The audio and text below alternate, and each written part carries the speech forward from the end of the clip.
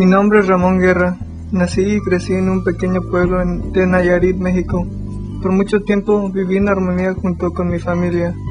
Esta felicidad terminó al comenzar mi adolescencia y con esa el terrible vicio del alcohol. El alcohol me truncó mi futuro en ese lugar. Para mí lo más importante en mi vida siempre han si- han sido mis padres y por ellos decidí dejar ese lugar. Me vine a los Estados Unidos en busca de un mejor porvenir. Como éramos muy pobres, tuve que pasar de ilegal.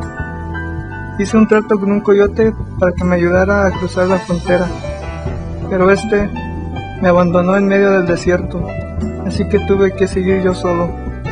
No sé cómo, pero caminando por mucho tiempo logré llegar hasta un freeway. Hambriento y cansado, esperé por muchas horas hasta que una familia me recogió y me llevó a mi destino. Esto me devolvió la fe en Dios y en la Virgen y me ayudó a darme las fuerzas para cambiar. Y así mi vida dio un giro de 360 grados.